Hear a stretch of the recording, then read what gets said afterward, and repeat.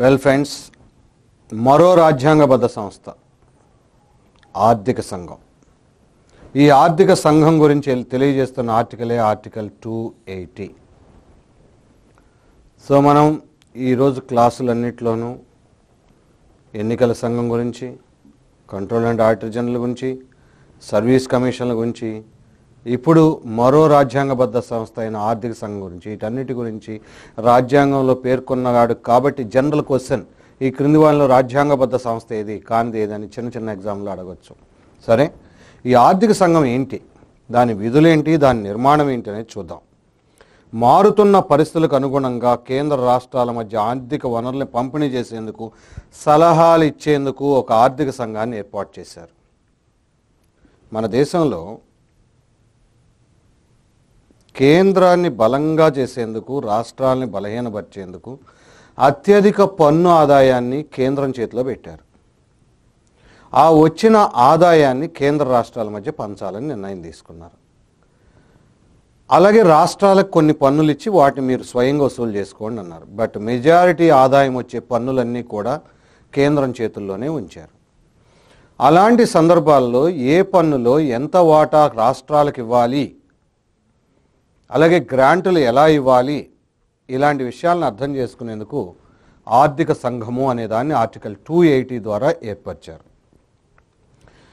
First నిర్మాణం చూద్దాం. Article two eighty ప్రకారం ప్రతి ఐదు సంవత్సరాలకు ఒకసారి లేదా అంతకన్నా తక్కువ సమయానికి కానీ రాష్ట్రపతి ఒక ఆర్థిక సంఘాన్ని నియమించవచ్చు. ఖచ్చితంగా ఐదేళ్ళు అనేది ఏం పాటించక్కర్లేదని. ఫర్ ఎగ్జాంపుల్ ఇప్పుడు పదిహేనో ఆర్థిక సంఘం నడుస్తుంది. ఆ నివేదిక వచ్చింది. ఆ నివేదిక నచ్చవచ్చు నచ్చకపోవచ్చు దాన్ని అమలు చేయొచ్చు అమలు చేయలేకపోవచ్చు. వెను వెంటనే కావాలని మరో ఆర్థిక సంఘాన్ని వేసుకోవచ్చు. బట్ ఇన్ జనరల్గా ఒక ఆర్థిక సంఘం ఏర్పాటు దాన్ని అది ఇచ్చినటువంటి సిఫార్సుల అమలు కాలం ఐదేళ్ళు ఉంటుంది. ఆర్థిక సంఘం ఒక్క చైర్మన్ నలుగురు సభ్యుల్ని కలిగి ఉంటుంది. ఇది కొంచెం గణ ఆబ్జెక్టివ్కి అవసరం. జనరల్గా పదవీ కాలం ఐదు సంవత్సరాలు. అర్హతలు పార్లమెంట్ చే నిర్ణయించబడతాయి. అయితే సాధారణంగా ఆర్థిక నిపుణులు నియమిస్తారు. సాధారణ అంశాలకు చెందిన వారిని కూడా నియమించవచ్చు. పార్లమెంట్ ఈ సంఘాన్ని రాజ్యాంగం అమల్లోకి వచ్చిన రెండు సంవత్సరాలలోపు ఆర్థిక కమిషన్ ఏర్పాటు చేయాలని ఈ ఆర్టికల్లో పేర్కొన్నారు. అంటే ఈ రాజ్యాంగం అమల్లోకి వచ్చిన తర్వాత రెండేళ్ళలోపు ఆర్థిక సంఘాన్ని ఏర్పాటు చేయండి అన్నారు. ఆ పరంపరలోనే పంతొమ్మిది వందల యాభై ఒకటిలో ఆర్థిక కమిషన్ చట్టము అనే దాన్ని చేశారు. దాని ద్వారా ఆర్థిక కమిషన్ చట్టంలో ఏ సభ్యులు ఎలా ఎంతమంది ఉండాలి అర్హతలు ఏంటి అనేది చూసాం. సరే మొదటి ఆర్థిక సంఘాన్ని కేసీ నియోగ నేతృత్వంలో యాభై ఒకటిలో ఏర్పరిచారు.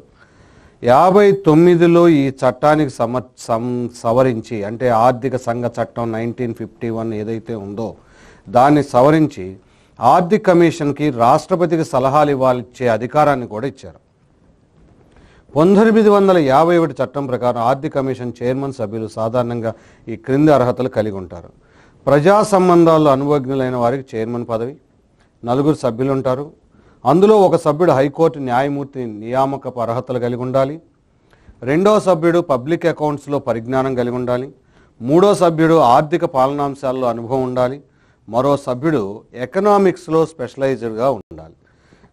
ఇలా వన్ ప్లస్ ఫోర్ సంఖ్యతో నిర్మాణం అనేది ఉంది. ఆర్థిక సంఘం తన విధి నిర్వహణలో సివిల్ కోర్టు అధికారాలు కలిగి ఉంటుంది. అందువల్ల తన విధి నిర్వహణ సంబంధించి ఏ అంశాల నుండి ఏ వ్యక్తి నుండి అయినా పొందవచ్చు. కంట్రోల్ అండ్ ఆడిటర్ జనరల్ కూడా ఈ అధికారం ఉందండి. దానివల్ల ఏంటి? కంట్రోల్ అండ్ ఆడిటర్ జనరల్ ఏ ప్రభుత్వ సమాచారాన్నైనా పొందొచ్చు. మనకు రైట్ టు ఇన్ఫర్మేషన్ రాకముందు సమాచార హక్కు రాకముందు ప్రభుత్వ కార్యాలయంలో ఏ సమాచారం పొందాలని ఇది ప్రభుత్వ రహస్యాల చట్టం కింద వస్తే మేము ఇవ్వం అనేవాడు. అలాంటి సన్నివేశాల్లో కూడా కంట్రోల్ అండ్ ఆడిటర్ జనరల్ కానీ ఆర్థిక సంఘం కానీ మాకు ఈ డాక్యుమెంట్ కావాలి అని అడిగే అధికారం ఉంది. ఆ పరంపరలో వానికి సివిల్ కోర్టు అధికారాలను కూడా ఇవ్వటం జరిగింది. విధులు. కేంద్ర ప్రభుత్వపు పన్నుల ఆదాయాన్ని కేంద్రానికి రాష్ట్రానికి మధ్య పంచటం. అది మొట్టమొదటి విధి. సరే ఎలా పంచుతారో ఏం చూద్దాం. కేంద్రానికి రాష్ట్రానికి మధ్య వివిధ గ్రాంట్లను కేటాయించడం ఆ గ్రాంట్ కేంద్రం రాష్ట్రానికి గ్రాంట్లు కేటాయిస్తుంది. ఆ గ్రాంట్లు కేటాయించేటప్పుడు తగిన సలహాలు ఇచ్చేందుకు మరియు కేంద్ర రాష్ట్రాల మధ్య ఉండే ఆర్థిక సంబంధాలను పరిశీలించడం ఇప్పటివరకు ఈ ఫైనాన్షియల్ రిలేషన్స్ ఎలా ఉన్నాయి? ఆర్థిక పరిపుష్టికి సంబంధించి రాష్ట్రపతి కోరిన ఇతర అంశాలపై సలహా ఇవ్వటం. గమనిక ఆర్థిక సంఘం సలహా సంఘం మాత్రమే. దాని ఆ నివేదికని ప్రభుత్వము పార్లమెంట్ ఆమోదిస్తేనే అది అమల్లోకి వస్తుంది. అది ఆజ్ఞలు ఇచ్చే సంస్థ కాదు కేవలం సలహా సంస్థ. టూ ఫార్టీ త్రీ ఐ ప్రకారం రాష్ట్ర ఆర్థిక సంఘం ఉంటుంది. సరే ఇది కేంద్ర ఆర్థిక సంఘం రాష్ట్ర ఆర్థిక సంఘం. రాష్ట్ర ప్రభుత్వ పన్నుల ఆదాయాన్ని రాష్ట్రాలకు స్థానిక సంస్థలకు మధ్య పనిచేదే రాష్ట్ర ఆర్థిక సంఘం. సరే దాన్ని కాసేపు పక్కన పెడితే ఆర్థిక సంఘం మీద విమర్శలు ఏంటి? ఆర్థిక సంఘ చట్టం నైన్టీన్ ఫిఫ్టీ వన్ ప్రకారం అర్హతల ఆధారంగా సభ్యుల నియామకము చైర్మన్ నియామకం పాటించకపోవటం. దానివల్ల ఏమవుతుంది? ఎక్స్పర్టైజ్డ్ పీపుల్ కావాలని మనం పెడితే తీరా చూస్తే ఈ ప్రభుత్వాలు రాజకీయ నిరుద్యోగులకు ఆ పోస్టులు ఇవ్వటం వలన వాటి యొక్క ప్రయోజనం నెరవేరట్లేదనే విమర్శ ఉంది. రాజకీయ నాయకులు ఈ సంఘానికి సభ్యులుగా అధ్యక్షులుగా నియమిస్తున్నారు. అందుకే ఉదాహరణగా ఆరో సంఘం ఎనిమిదో సంఘం పదో సంఘం.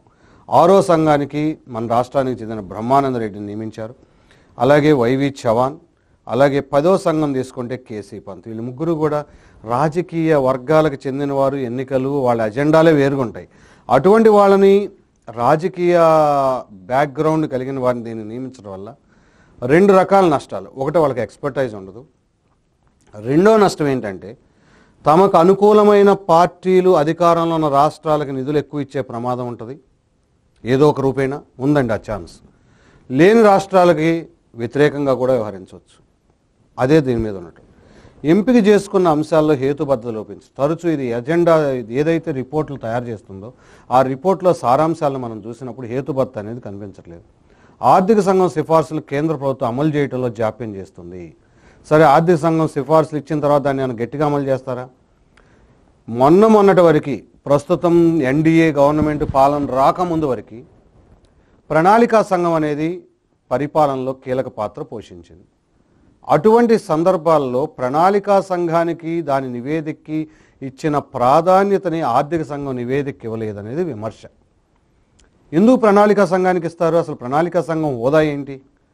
ప్రణాళికా సంఘానికి రాజ్యాంగంలో ప్లేస్ లేదు. పార్లమెంటు ఆమోదించిన చట్టం లేదు.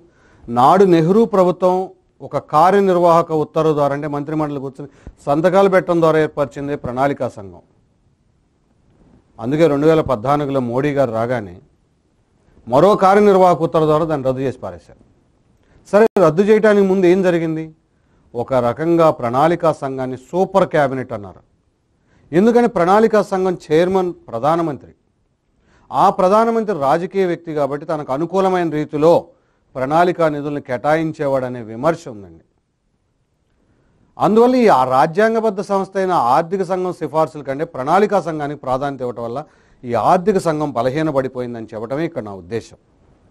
ఆర్థిక సంఘం సూచనల కన్నా రాజ్యాంగేతర సంస్థ అయిన ప్రణాళికా సంఘానికి అధిక ప్రాధాన్యత ఇవ్వటం ఆర్థిక సంఘం సూచనలు అమలు చేయకపోవటం ప్రణాళికా సంఘం రద్దు చేయబడిన తర్వాత ఆర్థిక సంఘం సిఫార్సులకు అధిక ప్రాముఖ్యతని ప్రాముఖ్యతనిస్తున్నారు. మోదీ ప్రభుత్వం పద్నాలుగో ఆర్థిక సంఘం సిఫార్సులను పార్లమెంట్లో ఆమోదించి నేరుగా అమల్లోకి తీసుకొచ్చింది. కాబట్టి ఇలా ఇప్పుడు కొద్దిగా ప్రాధాన్యత పొందిందని చెప్పచ్చు. పద్నాలుగో ఆర్థిక సంఘంలోని కొన్ని నివేదికలోని కొన్ని అంశాలు. రెండు వేల పదమూడు జనవరి రెండున ఏర్పాటు చేసిన పద్నాలుగో ఆర్థిక సంఘం రెండు వేల పదిహేను ఏప్రిల్ ఒకటి నుంచి ఐదు సంవత్సరాల కాలానికి పనిచేస్తుంది. పద్నాలుగో ఆర్థిక సంఘం తన నివేదిక రెండు వేల పద్నాలుగు డిసెంబర్లో ఇచ్చింది. పద్నాలుగో ఆర్థిక సంఘం సిఫార్సులు రెండు వేల పదిహేడు ఇరవైల మధ్య వరకు చెల్లుబాటులో ఉంటాయి. కేంద్రానికి పన్నుల ద్వారా వచ్చిన నికర రాబడుల్లో నలభై రెండు శాతం వాటాన్ని కేటాయించాలి. క్లియర్ కట్గా చెప్పింది. ఏదైతే నికర రాబడులు ఉన్నాయో దాంట్లో ఫార్టీ టూ పర్సెంట్ రాష్ట్రాలకు ఇచ్చేయిందని అంతకుముందు ఆర్థిక సంఘాలు ఏం చెప్పేవి? పదో ఆర్థిక సంఘానికి ముందున్న ఆర్థిక సంఘాలు. ఏమని చెప్పేవంటే ఇన్కమ్ ట్యాక్స్లో ఇంత వాటానివ్వండి సెంట్రల్ ఎక్సైజ్లో ఇంత వాటానివ్వండి కస్టమ్స్ కార్పొరేట్ ట్యాక్స్లు అసలు ఇచ్చేది కాదు. దాంతో చాలా తక్కువ నిధులు వచ్చాయి. పదో ఆర్థిక సంఘ కాలం నుంచి ఈ విషయంలో కొన్ని మార్పులు తీసుకురావటం జరిగింది. ఆ మార్పుల్లో భాగంగా ఈ ట్యాక్స్లో భాగం ఆ ట్యాక్స్లో అనే భాగాలు వద్దు. అన్నిటినీ కలిపేసి ట్యాక్స్ ఆదాయాన్ని తీసుకోండి. దాంట్లో ఇంత వాటా ఇవ్వండి అని పదవ ఆర్థిక సంఘం సూచించింది ఇక అప్పటి నుంచి ఇరవై రెండు ఇరవై ఆరు ముప్పై ఇలా పెంచుకుంటూ వచ్చారు. చివరికి ఇప్పుడు పద్నాలుగో ఆర్థిక సంఘం ఆ వాటాని ఫార్టీ టూ పర్సెంట్గా చేసింది. పదమూడవ ఆర్థిక సంఘం థర్టీ టూ పర్సెంట్ ఉంటే దానికన్నా టెన్ పర్సెంట్ ఎక్కువ చేసుకెళ్ళింది. కేంద్ర రాష్ట్ర ప్రభుత్వాల ఉమ్మడి రుణ లక్ష్యంలో జీడిపిలో అరవై రెండు శాతంగా ఉండాలి. సో కేంద్రమైనా ఓ రాష్ట్రాలైనా ఈ రుణ భారాన్ని తగ్గించుకోవాలి అది అరవై రెండు శాతానికి మించొద్దు అన్న. ఆదాయం లోటును దశల వారీగా తగ్గించి పూర్తిగా నివారించాలి. రెండు వేల పదిహేడు పద్దెనిమిది నాటికి ఆర్థిక లోటుని స్థూల దేశీయ ఉత్పత్తిలో మూడు శాతానికి తగ్గించాలి అని చెప్పింది. అలాగే రాష్ట్రాలు సమయ పరిస్థితిని విధించుకుని విద్యుత్ రంగంలో నష్టాలు నివారించడానికి కృషి చేయాలి. ఎందుకంటే ఇంధన వనరుల మీద చాలా ఎక్కువ ఖర్చు అవుతుంది. ముఖ్యంగా ఈ రైతులకి విద్యుత్తులో ఉచిత విద్యుత్ ఇవ్వటము అలాగే పారిశ్రామిక రంగాలకి రాయితీలు ఇవ్వటం వీటన్నిటి వల్ల ఈ ఎనర్జీ మేనేజ్మెంట్ అనేది ఇండియాలో ఫెయిల్ అవుతుంది. ఎనర్జీ మేనేజ్మెంట్ ఎక్కడ సక్సెస్ ఉంటుందో అక్కడే మంచి ఫలితాలు వస్తాయి. ఆర్థిక వృద్ధి జరుగుతుంది అందుకే ఆ కోణం చేయదు కేంద్ర అధీకృత పథకాలు తగ్గించడానికి చొరవ చూపాలి. సో ఇది ఇచ్చిన బ్యూటిఫుల్ రికమెండేషన్లో. సో మెనీ కేంద్ర సెంట్రలీ స్పాన్సర్డ్ స్కీమ్స్ అంటాం. ఎక్కువైపోయినాయి. దేనికి నిధులు ఎలా వెళ్తున్నాయి? పర్యవేక్షణ ఏంటి? అసలు ఎలా ఫలితాలు వచ్చాయి? అసెస్మెంట్ లేకుండా పోయింది. అందువల్ల వాటి సంఖ్యను బాగా తగ్గించాలి అని చెప్పింది. ఆ పరంపరలోనే మోదీ ప్రభుత్వం ఇప్పుడు సెంట్రల్ స్పాన్సర్ స్కీమ్స్ని బాగా తగ్గించేసింది. సూత్ర ప్రాతిపదికన ప్రణాళికా నిధుల కేటాయింపుని ప్రోత్సహించాలి. ఏదో గుంపగొత్తగా ఇవ్వటం కాదు ఒక ఫార్ములా తయారు చేయండి ఆ ఫార్ములా ప్రకారం నిర్దిష్టంగా కేటాయించాలి అని చెప్పింది. సరే ఇప్పటివరకు ఏర్పరచబడిన కమిషన్లు చూస్తే ఇవి. ఇప్పుడు పదిహేనవ ఆర్థిక సంఘం నడుస్తుంది. ఎస్కే సింగ్ కాలం నుంచి. ఇందాక మనం ఇక్కడ ఒక పాయింట్ని మరలా ఒకసారి నేను మీకు రిమైండ్ చేయదలిచాను. పద్నాలుగో ఆర్థిక సంఘం నివేదిక రెండు వేల పదిహేడు కాదండి ఇది పదిహేను నుంచి. ఒకసారి పొరపాటు పడ్డాను అది ఇక్కడ మళ్ళీ ఉంది రెక్టిఫై చేశాము. జస్ట్ ఇది ఒకసారి చూడండి. అదేవిధంగా పదిహేనో ఆర్థిక సంఘం మీద మరికొన్ని ఇంపార్టెంట్ పాయింట్స్ ఉన్నాయి. అవి కూడా చూద్దాం. దీని ప్రస్తుతం పదిహేనో ఆర్థిక ఇందాక చెప్పింది పద్నాలుగో ఆర్థిక సంఘం దీన్ని ప్రస్తుత ప్రభుత్వం రెండు వేల పదిహేడు నవంబర్ ఇరవై రెండు ఏర్పాటు చేసింది. ఇది తదుపరి ఐదు సంవత్సరాల పాటు తన రిపోర్ట్ ఉంటుంది. ఇందులో ఎన్కే సింగ్ చైర్మన్గా ఉన్నారు. ఇది దీని నివేదిక ఇరవై రెండు వేల ఇరవై ఏప్రిల్ ఫస్ట్ నుంచి అమల్లోకి రానుంది. అంటే అప్పటి వరకు పద్నాలుగు ఆర్థిక సంఘం నివేదిక నడుస్తుంది. సో దాంట్లో సభ్యులు ఇది కొంచెం కరెంట్ అఫైర్ పాయింట్ ఆఫ్ వ్యూలో గుర్తుపెట్టుకోండి. చైర్మన్ ఎన్కే సింగ్ పూర్తికాలపు సభ్యుల కింద శక్తికాంత్ దాస్ అనూప్ సింగ్ని ఏర్పాటు చేశారు. తాత్కాలిక సభ్యుల కింద అశోక్ లహరి రమేష్ చందు అలాగే కార్యదర్శి కింద అరవింద్ మెహతా. నా పదిహేనో ఆర్థిక సంఘం సవాళ్ళు ఏంటి? ఇటీవల కాలంలో ఆర్థిక వ్యవస్థ అనేక నిర్మాణాత్మక మార్పులు లోనైన నేపథ్యంలో పదిహేనవ ఆర్థిక సంఘం లక్ష్యం సవాల్తో కూడుకుంది. ఎందుకంటే వస్తున్న చేంజెస్ని దృష్టిలో పెట్టుకుని ఫర్ ఎగ్జాంపుల్ జిఎస్టీ ఒక చేంజ్. అలాగే మనం బడ్జెట్ చెప్పేటప్పుడు నాన్ ప్లాన్ ప్లాన్ తీసేసాం. క్యాపిటల్ రిసిప్ట్లో తెచ్చాం. అలాగే రైల్వే బడ్జెట్ని ఇందులో కలిపాం. అలాగే రాష్ట్ర ప్రభుత్వాలకి ఆర్థిక వనరులు పెరుగుతున్నప్పటికీ వ్యయం కూడా పెరుగుతుంది. ఇలాంటి స్ట్రక్చరల్ చేంజెస్ ఏమేమి వచ్చాయో చూసి వాటి ప్రకారం వ్యవహరించండి అన్న. అలాగే జిఎస్టీ అమలు కేంద్ర రాష్ట్ర ప్రభుత్వాలకు వచ్చే సాధక బాధక పరిణామాలను అంచనా వేయటం దాన్ని పరిష్కరించే విధంగా ఆర్థిక సంఘం ఉండాలి. అంతకుముందున్న ఎక్సైజ్ సంఘంతో పోలిస్తే కేంద్ర జీఎస్టీ తక్కువ ఉంటుంది. ఈ మేరకు కేంద్రం నష్టపోయేట్టు కనిపిస్తుంది. సేవల పన్నులో కూడా రాష్ట్రాలతో సమానంగా పంచుకోవాలి. సో అంతకుముందు సర్వీస్ ట్యాక్స్ అని రకరకాల పన్నులు ఉండేవి సెంట్రల్ ఎక్సైజ్ అని. ఈరోజు ఈ రెండు కలిపేయటం వల్ల కేంద్రానికి వచ్చే ఆదాయం కూడా తగ్గుముఖం పడుతుందా? పడితే మరి కేంద్రం యొక్క విధులు నిర్వర్తించడం రేపు ఆదాయాన్ని ఎలా బ్యాలెన్స్ చేయాలి? అలాగే ప్రస్తుత దృష్టి ఉత్పత్తి రాష్ట్రాల నుంచి గమ్య రాష్ట్ర గమ్య రాష్ట్రాలకు మళ్ళింది. సో ఇంతకుముందు ప్రొడక్షన్ ఏ రాష్ట్రాల్లో ఉంటే ఆ రాష్ట్రాలకు ఎక్కువ ఆదాయం వచ్చేది. జిఎస్టీ వచ్చాక వినియోగం ఎక్కడ జరిగితే అక్కడ ఆదాయం వస్తుంది. దానితో ఈ తరహా నమూనాకి రాష్ట్రాలు ఏ విధంగా సిద్ధపడాలి? అందులో కేంద్రం పాత్ర ఏంటి? లాంటి ఛాలెంజెస్ కూడా ఉన్నాయి. గతంలో అమ్మకంలో ఉన్న సిఎస్టీ స్థానాన్ని పూర్తి పూరించిన సమీకృత జిఎస్టీ ఇప్పుడు గమ్యస్థాన రాష్ట్రాలకు అందుంది. ఐజిఎస్టీ అంటాం ఇంటిగ్రేటెడ్ జిఎస్టీ దాన్ని తెలుగులో సమీకృత జిఎస్టీ అంటాం. ఇది కూడా అంతే ఎక్కడ వినియోగం ఉంటే ఆ రాష్ట్రాలకు చెందే పరిస్థితి వచ్చింది. దీన్ని ఎలా అడ్రస్ చేయాలి? జీఎస్టీ అమలు రేట్లో స్పష్టత రానందువల్ల పంపిణీ సమస్య కూడా మరింత జటిలంగా ఉంది. ఎలా పం పంపిణీ చేయాలి? ఎంత పర్సంటేజ్ ఇవ్వాలి? గ్రాంట్లకు ప్రాతిపదిక ఏంటి? అని మారినటువంటి ఈ పన్ను స్ట్రక్చర్స్ని దృష్టిలో పెట్టుకుని రాబోయే ఏప్రిల్ ఒకటి రెండు వేల ఇరవై నుంచి తదుపరి ఐదు సంవత్సరాల కాలాన్ని దృష్టిలో పెట్టుకుని చర్యలు తీసుకోవాల్సి ఉంటుంది. సో దీని మీద ఏదైనా గ్రూప్ వన్ కోసం వస్తే ఇలాంటిది రావచ్చు. పద్నాలుగో ఆర్థిక సంఘం నిర్మాణము విధులు మరియు పద్నాలుగో ఆర్థిక సంఘం పరిశీలించాల్సిన అంశాలని సమీక్షించండి అని. సో ఇదండి ఆర్థిక సంఘము అనే దానికి సంబంధించి మనం నేర్చుకోవాల్సి